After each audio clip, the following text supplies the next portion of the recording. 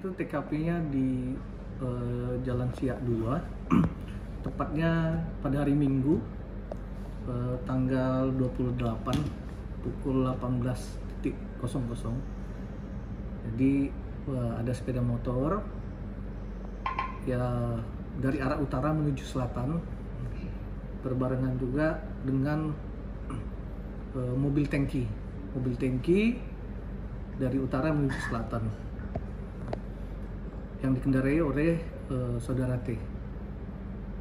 Pada saat motor tersebut eh, memotong memotong mobil tangki dari arah kiri, jadi satu jalan em, dan sampai di bundaran air hitam ingin berbelok ke kanan, motor tersebut, eh, menyenggol ban depan ban depan dari mobil tangki tersebut dan terjatuh jatuh dan eh, menyebabkan eh, satu orang eh, meninggal dunia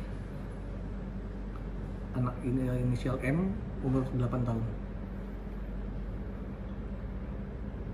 Itu saat kejadian eh, korban ini tarik empat atau bagaimana nih? Oh iya, Kejadian. benar. Pada saat ini berdasarkan hasil pemeriksaan eh, yang bersangkutan eh, membonceng lebih dari eh, satu orang atau sekitar tiga orang.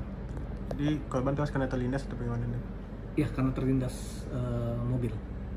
Ada pelaku yang diamankan kan? Ada satu orang atas nama saudara T. Untuk kondisinya nih, untuk kondisi pelaku ini apakah ada apa? Ketika kita cek eh, tidak ada, tidak, tidak sedang mabuk atau menggunakan narkoba. Dan kondisi korban saat ini satu meninggal, satu luka berat.